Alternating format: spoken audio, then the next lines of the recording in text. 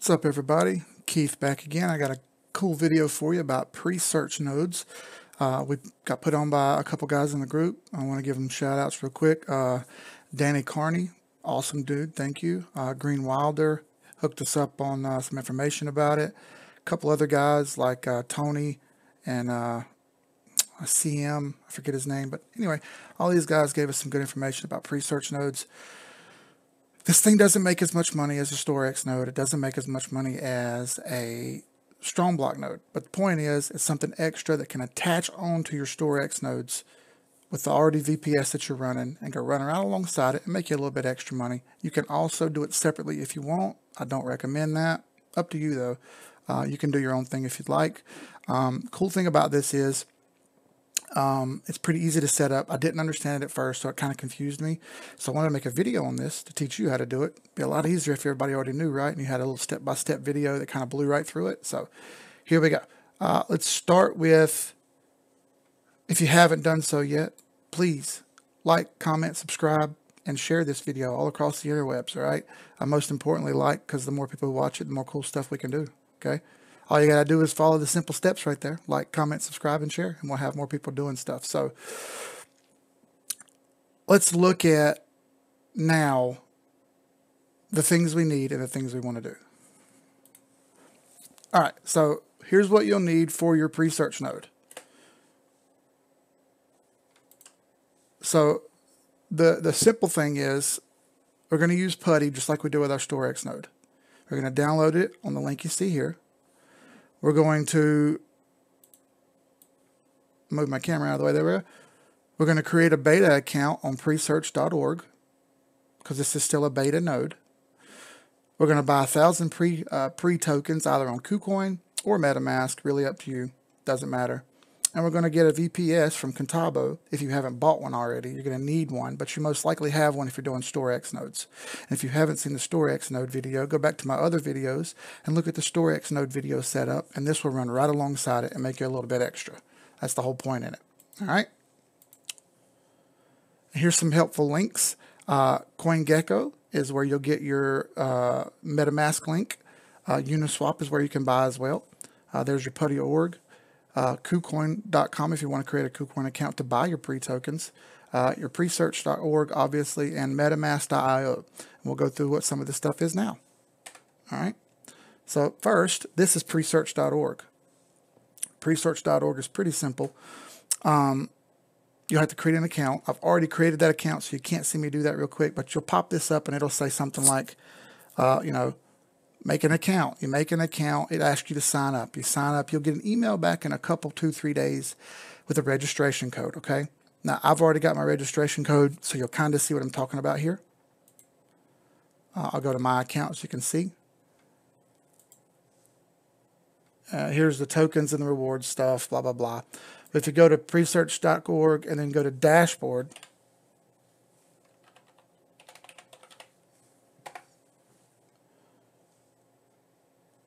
I'll log in here. There we go. Um,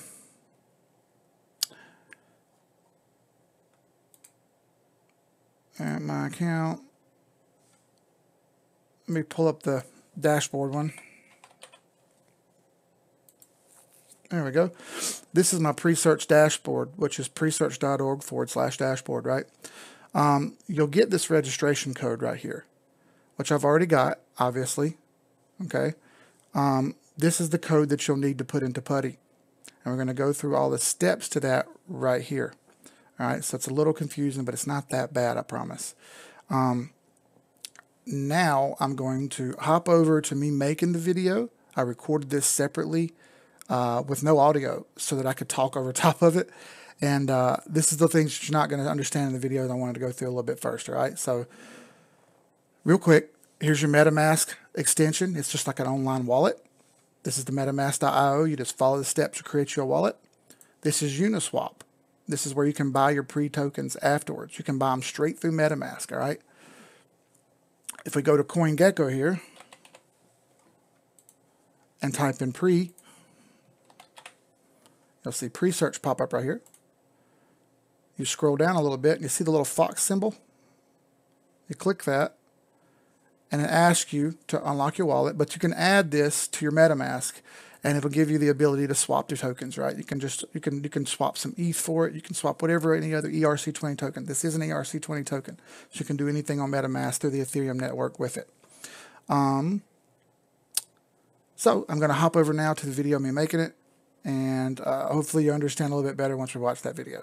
I'm going to talk over top of it. All right, so I'm recording over top of myself, so it's going to look a little weird behind me, but just bear with it, all right? As you can see, I've already got Putty pulled up.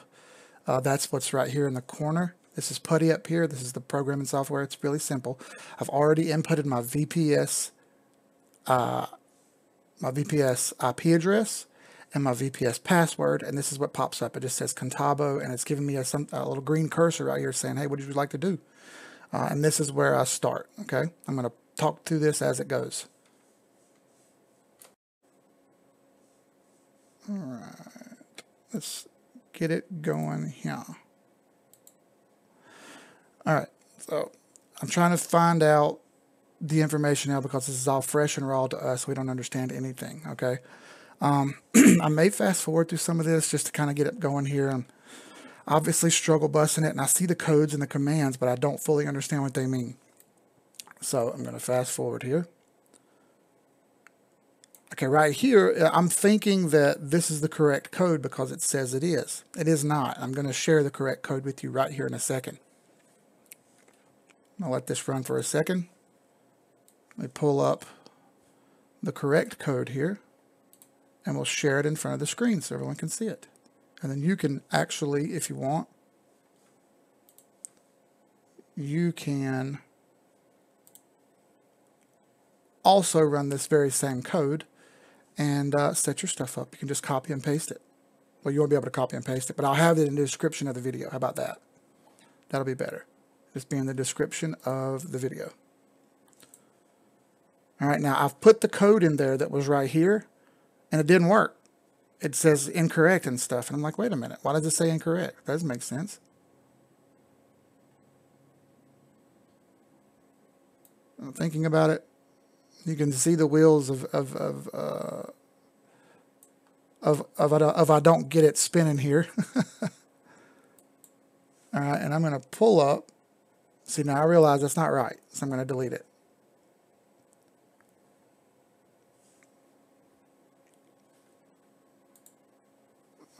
Uh, now I'm thinking something's not right.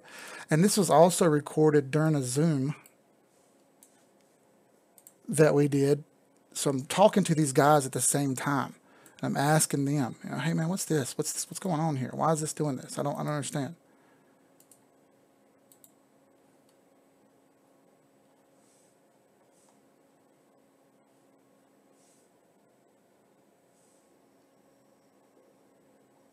And now they're saying, hey man, you didn't put your registration code in right. It didn't work right. Do it again. So I've come right back to the same screen. I got the cursor pulled up and I'm asking them, hey, what did I do wrong here? He's saying, hey, man, uh, try the try the other code. I said, okay, I'll try the other code. Let me fast forward to for a second here. He says, hey, take the code and put it in Notepad. So that's what I did. And now he's going, I'm, this is the important part right here. You see me highlighting this, your registration code here. This is the part that you erase. And you erase this part and put your code in your registration code that you copy and paste will go right here. The money sign and your registration code here get deleted and you paste yours in there.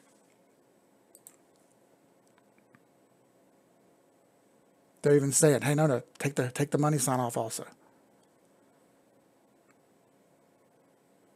okay, I'll delete it. And I did, I tried it, it didn't work. I screwed it right back up. So I said, okay, let me figure out what I did wrong. Yada, yada, yada. Okay, now I'm copying my registration code.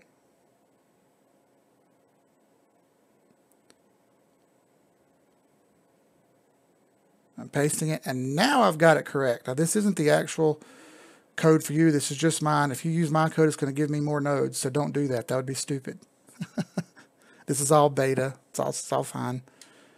And now I'm realizing, okay, I think I've got it right now. So here's where we copy and paste, okay? They're saying, oh, just click edit, copy all. And I'm an idiot and I didn't do that at first. And there's my registration code again. Select all. Copy. I'm going to go over to Putty and I'm going to right click.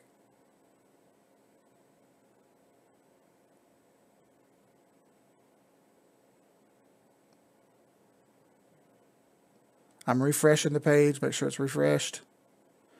Here you can see I've got 16,000 pre-tokens deposited already. I have right clicked and I hit enter and the code starts working. This is where it was working correctly now. The first time I did it, it didn't work right. Got the code done. You can see it says pull complete, pull complete, pull complete. It's up and running now. It's good to go. I'm going to fast forward a little bit here. I'm asking them, is that right? Does this look correct? They said, yeah, you're good. So I've got the cursor down here waiting to ask me what to do next. They said you would have had this big P pop up if you were done. I never saw that happen. So now I'm waiting. I do it again. I delete it. I'm like, hey man, this thing didn't work right. I'm talking to them. I said, try one more time. This time I did it. Pull complete, pull complete, same thing. Nothing's working, right?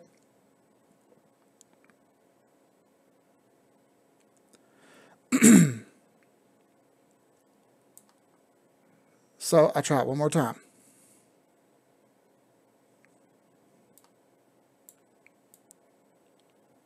This is where I have changed the code. You see these semicolons? This wasn't in the original one, but the one I'm going to give you has the semicolons in it. And that was the problem. Coding is a little complicated like that, but I messed that up. I'm going to copy. I'm going to paste. And I'm going to hit enter and watch what happens. Runs all the same code, and then bam, the blue P pops up. And that means I'm good to go. The blue P's up, we're good. We're squared away. This node is operational. I'm going to go back. They say, hey, look on the bottom. It'll pop up down here. And as you see, it doesn't say anything yet, right? Doesn't say anything yet. So I'm like, well, what do you mean? He says, well, just, hey, just refresh. I've already got my pre-tokens in there, 16,000 of them. This is what I'm going to use to stake onto my node with. We'll get to that in a second.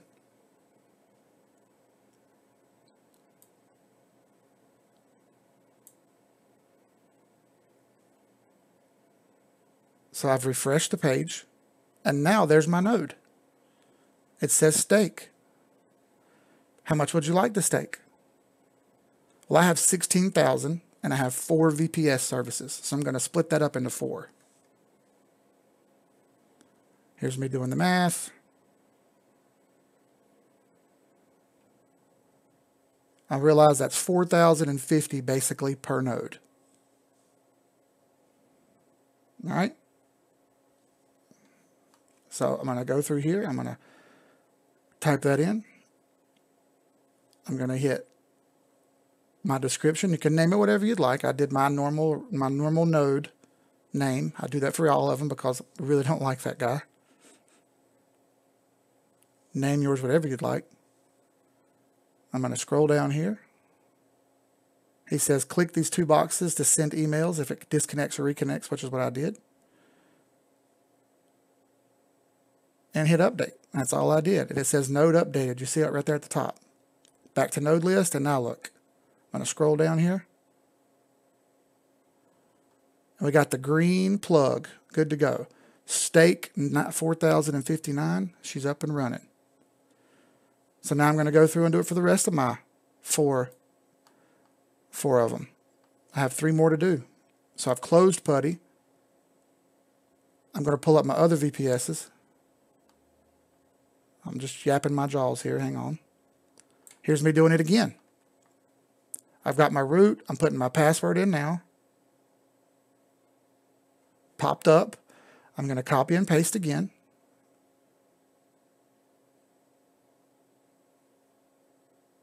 Copy. I'm going to right click to paste and I'm hit enter. Off she goes. This is node number two. I'm watching it carefully to see does it work. I'm looking at the same thing you're looking at right here. P pops up, we're good to go. That's node number two. I'm going to go back through. I'm going to stake 4059 to it. I'm going to name it just like I did my other ones.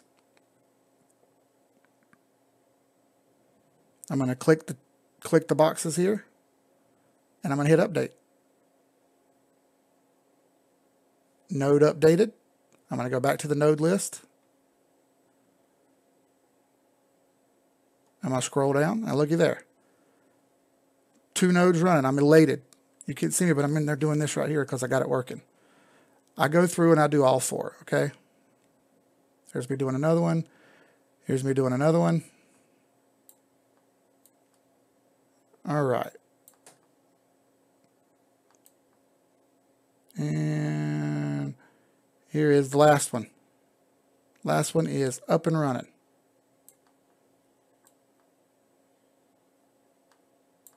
All right, so here's an important part.